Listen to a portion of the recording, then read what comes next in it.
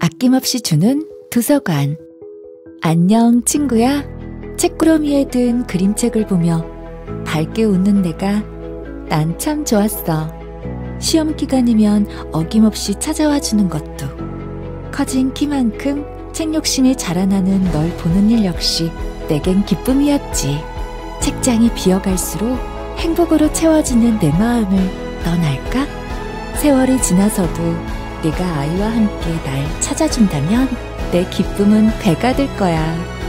친구야, 오늘도 내게 와줘서 정말 고마워.